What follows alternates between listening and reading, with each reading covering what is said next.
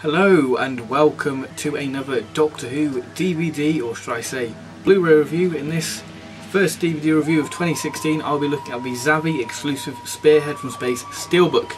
Yes, now this review is going to be structured a little bit different to how I normally do uh, my reviews. Obviously we'll be looking at this snazzy thing in a minute. But um, uh, once I've looked at the product, I'll be talking about how pivotal Spearhead from Space is and why I think it is such an important story. Not because it just introduced us to my favourite Doctor, but on how this could be the real game changer in Doctor Who. Um, so yeah, let's uh, look how this uh, DVD is presented. But um, DVD wise, I am planning to bring back the DVD reviews. Slowly but surely they will be back and uh, I think it's only fitting that they come back with a bang as the third Doctor is exiled to Earth and he's about to face the Autons. So let us face the Autons in the first DVD review. So for the presentation of this product, so for the cover art we have the third Doctor there, Liz Shaw, the sort of main Auton we see, we've got the meteorite shower, the sort of shockwave and we have the Autons from part 4 and some explosions and the Earth for the background. Now what I like about this and the Series 9 uh, Amazon exclusive Blu-ray steelbook is that they've managed to blend in this bit of slip card. You can see there we'll see more of the cover. So it's nice how they sort of balance that in. And we have the Doctor Who there, Spearhead from Space, PG, BBC. As the spine, we have Doctor Who, Spearhead from Space. And on the back of the card we have information on the story, the special features included, and some still images from the story and some sort of weird jargon about the actual DVD it. Removing the slipcase, we get this lovely photo of Jon Pertwee with the shockwave effect continued, and the Earth is there as well, sort of blended in with Jon The disc art is face. it is exactly the same as the and cover. removing the disc, we can see this lovely photo of Jon Pertwee on location from Spearhead from Space with this nice galaxy nebula. Alright then, Spearhead from Space I think is one of the most important and pivotal moments in Doctor Who because Spearhead from Space is very much a template for the new series and you can just see that through the work like Rose. It is very much a carbon copy of Spearhead from Space. But uh, from Space I think is a groundbreaking story because obviously um, the Patrick Troughton era was in decline, you know, viewing figures were dropping, you know, stories like The Dominators were just killing the viewing figures for Doctor Who and the schedule was killing Patrick Troughton so that led to the first change being the whole schedule revamp because season six had about six, uh, well, seven stories, and season seven was dropped to four stories.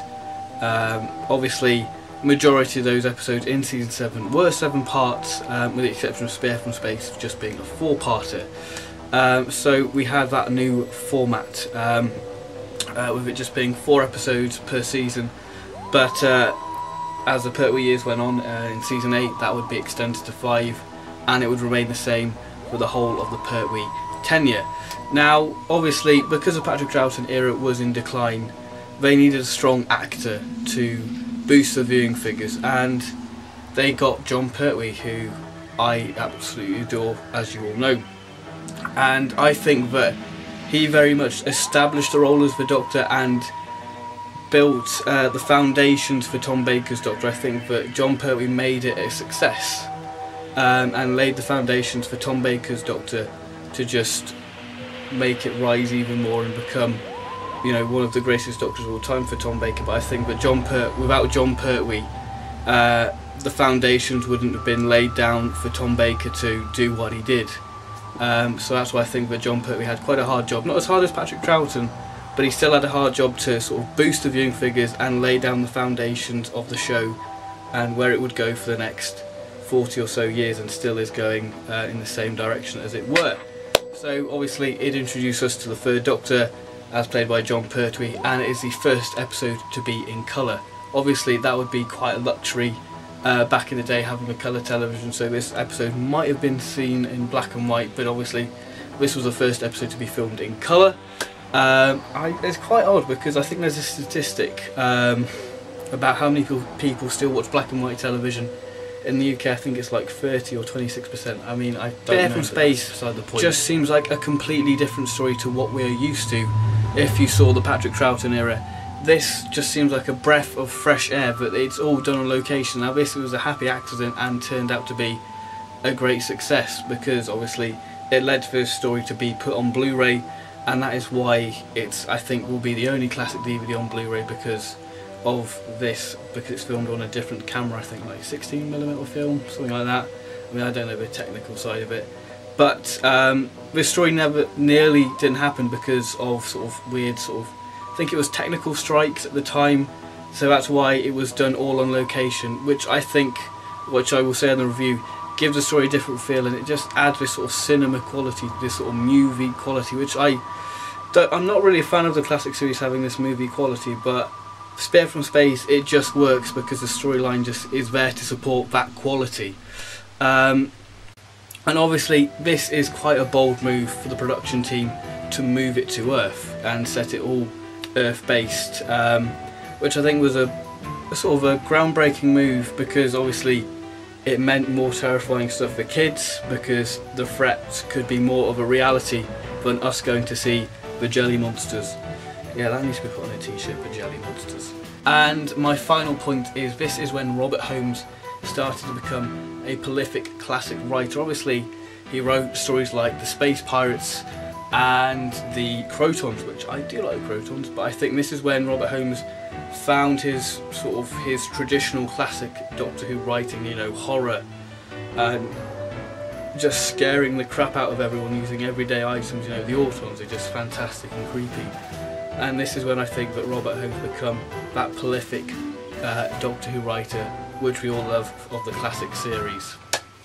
So now onto the actual review of Spearhead, Spearhead from Space, Space was the second third Doctor story I saw, and this was a story what sold me on the third Doctor, and this is when the third Doctor became my favourite Doctor. So Spearhead from Space is a very special story for me for that reason.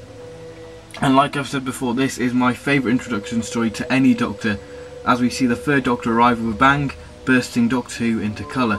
Now the story itself, part one of the story, doesn't really focus on the Doctor, it's more establishing uh, the main plot points and the characters with the Brigadier, um, I think is the main driving force of part one, um, and sort of obviously re-establishing Unit. Um, whereas the Doctor becomes the sort of prominent feature in part two. Part three um, is very much setting up the Nestene plan, and then part four is the Nestene's downfall, which is quite odd really because it's like the last sort of five or six minutes of the actual story where we see the Nestenes defeated. So they have got quite a prominent lead and you think how they're they going to wrap this up in six minutes? But they obviously they do it brilliantly superb whatever you want to say. They just wrap it up brilliantly and it just sets the, the show in a brilliant new direction uh, for now on to characters. And obviously I'm going to start with the main man the third doctor played by Jon Pertwee.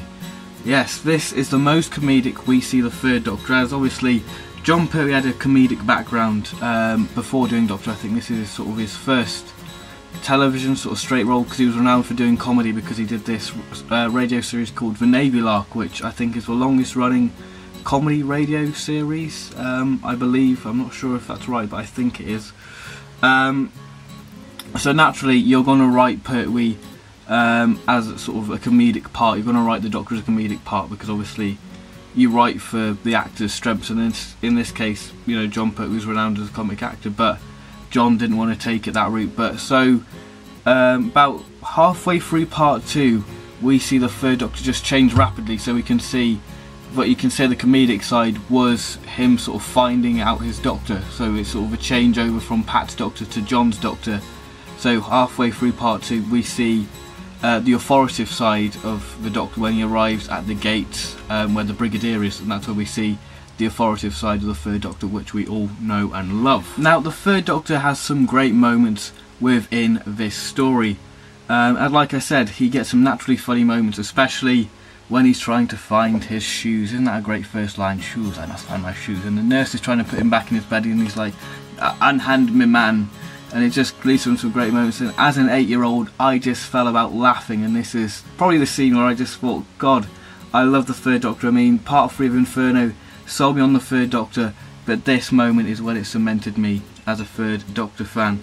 Um, now, like any um, introduction story, uh, it's meant to show off or showcase the main features of this Doctor, what we're going to see later. Obviously, You've got the great action side of the Doctor him throwing, throwing himself into danger, like the wheelchair sequence, which is just a great uh, moment. Uh, we've got his gadget constructing, he's got his gadget side where he constructs gadgets to defeat the Nestene. Um, he's got his, his, eccentric side when he's sort of cho choosing his dandy flamboyant outfit and going in the vintage car, you know, it's very eccentric. And of course, you've got his sort of persuasive side, you know, he's trying to persuade the brig to keep that red car, uh, what he stole from the hospital, and, and somewhere to work and persuading Liz to get the key.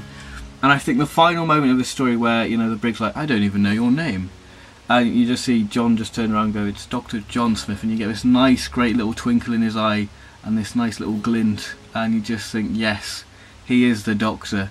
Because um, you've got that sort of childish quality to him. In that sort of one moment, you can just see this sort of inner child uh, within him. And you can see that uh, this show's going in this nice, fabulous direction. And the show's in safe hands as Jon Pertwee is the Doctor. Liz Shaw, played by Caroline John. Liz, to me, is very much a break the mould companion as she's very much the Doctor's equal. As normal companions are normally sort of passing the test tube, but Liz is the one conducting the experiments this time. You could say Zoe is one of those companions as well, but I think that Zoe um, was a bit more up, um, was surpassed the Doctor's intelligence, but she was more clever than the Doctor. I mean, in the Krotons, you know, she beats the Doctor on that intelligence test to see the Krotons. So whereas Liz, I feel, is more of that sort of equal to the Doctor. Um, and I think that Liz is very much an underrated um, companion. And Caroline John, I think in this story gives a very nice subtle performance, with her just using her facial express expression to explain her character's feeling. You know, we have this nice bit of background information that she went to Cambridge, and uh, when she first sort of talks to the Brigadier, but she's sort of taking the mick out of Unit. Um, and the Doctor and Liz just have this great chemistry as soon as they sort of start talking to each other. You can see this great sort of rapport between the two characters. Um, and you know the doctor saying, "Oh, do I really have to call you Miss Shaw?" And you know they just laugh about it, and it's just great chemistry. And you can just see they have this great workmanship, especially in part three and four when they're trying to just stop the Nestene. They just have this great chemistry uh, between them. I think Liz, uh, Caroline John gives this nice subtle performance, you know, but you were drawn by her just by raising an eyebrow, and you're just instantly drawn to her. You know, but she doesn't have to be um, screaming and shouting, you can just raise an eyebrow and you're just drawn to her. So she gives this nice, subtle performance. Now on to Nick Courtney, the Brigadier. Uh, he slips into the role with great ease, with him having this this ever-present stern quality, with him having a great smugness uh, to his performance when talking about Unit to Liz, and being so sure that the Doctor has returned, um, leading to the Brigadier's denial, saying that's not that's not the Doctor. Um, and you know, when uh, the Doctor arrives in the lab, you can see that the Brigadier and the Doctor's relationship is already uh, frosty, and you can tell that the Brigadier, uh, well, the Brigadier knows that he's in for a bit of a rough ride uh, with this incarnation of the Doctor, he's going to struggle uh, keeping uh, this Doctor in line. Um, another moment what I forgot to mention with Caroline John is that the way she sort of played getting the Doctor's TARDIS key um, that was just a great little funny moment, you know, with the brig just trying to deal with this situation. Liz is just there, just saw the key and just took it. And the brig didn't even notice because he's too stuck up in his own little business. So yeah, that was a great moment for. Now Liz onto Shaw. the main villain of this story, uh, Hugh Burden, who played Channing. Uh, what an absolutely creepy character. The way he was shot and the music what goes around him is just superb. With him, with us just seeing these big eyes in this sort of corrugated sort of window. Uh, so right from the off, you know that he's the bad guy, and Hugh Burden does a fantastic job bringing him to life, as he has this rather uh, still, that he's rather still, um, and making us as audience members drawn to him uh, on screen, as you've got these massive eyes, um, making him have this sort of distant feel, like he's not quite in the room, but you know he's there, which gives him this sort of eerie quality, so you can sort of tell that he's sort of alien, that he's not all there but he's in the room but he's got this very distant feel which I really do like. So you can sort of see that he's sort of far away from an alien planet if you look into it like that. Um, really and you do get this sort of sense of danger uh, from him with him you know not to be you know you, you don't want to mess with him. Um, you know that he will get his autons on you and you'll be totally destroyed. Um, like that person who sort of worked at the factory and got sacked. Um, and you know, obviously, with him being a person not to be messed with, this leads to a fantastic confrontation with the Third Doctor in episode four. Now, another character what I've got to mention is Sam Seeley, played by Neil Wilson, who's sort of the typical country bumpkin character, who I just find rather amusing. He's sort of a developed uh, Pigbin Josh from uh, of Axos, that tramp character from Claws of Axos. Um, and he's just a rather sort of sexist sort of character. Um, you know, saying to his wife, I'm hungry woman, make me a sandwich. And you just sort of feel bad for laughing, but you just laugh anyway. Um, you know, and him talking about uni, about the meteorite, if there's any sort of reward. Um, just a great performance by him, and he's sort of a nice little addition to the story, um, really. And it just, he's just a great character. I really do like. Um, now Sam onto the main threat, the Autons. They are just creepy in this, um, because I live by a woods. I was always scared of a case like an Auton would come lurking out of the woods. And this story made me sort of have a fear of plastic dummies for a while as I think that the design of them having hair, I know that sounds silly, but I think they look rather creepy with them having hair. I mean, in episode 4, you know, the ones in the shop windows, you can see the performer's eyes, um, which isn't a negative, it just adds to the sort of horror factor uh, for me. And the music, when they come to life in part 2, is just creepy and that weird sort of spring noise and the killing spree in episode 4 is excellently shot and the idea of total destruction is just great but you can be killed and you would never know that you had gone. Um, and also unlike the new series these Autons run and that just scared the crap out of me because I was just like ah they can chase after me now. Um, so the Autons I think are really creeping are really a tour de force in this but they you do get a sense of danger of them when they're sort of going on that killing spree in episode 4 and when the soldiers are attacking them and you can see the bullets going right through them you can just tell that they are a great force within this. Right then, onto the Blu-ray itself. Uh, from Space just becomes more alive and cinematic with everything just pops and just becomes more vibrant especially in the scenes in the woods, the hospital, the lab and the plastic factory. I mean, I've noticed sort of new details within the story. I mean, on the third Doctor costume, that he's got this nice sort of pattern design on his collar, which I don't remember seeing on the special edition uh, in the Mannequin Mania box set. So you can sort of see these new uh, details uh, within the story. I mean, my only sort of negative uh, for this is, you know, the sort of Auton slaves, what you get with sort of the wax uh, makeup. That doesn't really translate um, well onto uh, the actual Blu-ray itself. Um, but obviously if we go lower definition it's fine. I mean the, the one where it looks the most dodgy is sort of the girl in the factory what sort of takes people to uh, Channing, um, well his sort of little secretary guy um, played by John Woodnutt um, who we all know from Terror of the Zygons. Um, but like I was saying, everything just pops and becomes more vibrant, especially the costumes. Um, the third Doctor, you know, the flash of the red cape, it just becomes more alive and the dark blue jacket it just stands out so well um, especially on the sort of when he, they go into the factory and you get Jon Pertwee doing that lovely showman bit when he just lights the door and the lock bursts and he does that flash and you see the big flash of the red cape and you're just like yes the reason I picked this gorgeous. up was for uh, the Dandy and a Clown documentary which is the life and uh, career of Jon Pertwee which um, really does sum up uh, Jon Pertwee's life the title A Dandy and a Clown but he's renowned for being a comedy uh, actor, and obviously he's famous for being uh, the Doctor. Um, and I'm thinking of doing a video about uh, why I love Jon Pertwee, why is, he, why is he my favourite actor, and why he's my favourite Doctor. So maybe that'll be my next discussion video if uh, uh, I plan to do it, which I would like to do it at some point. Um, yeah, it's a video I've got on the card, so maybe that will happen uh, in the near future. And I just think it's a great documentary uh, seeing some sort of footage about his life and seeing him do all these sort of weird, his dangerous sort of stuff, and you really get an insight on his life and what he did to sort of unwind when he wasn't filming Doctor Who.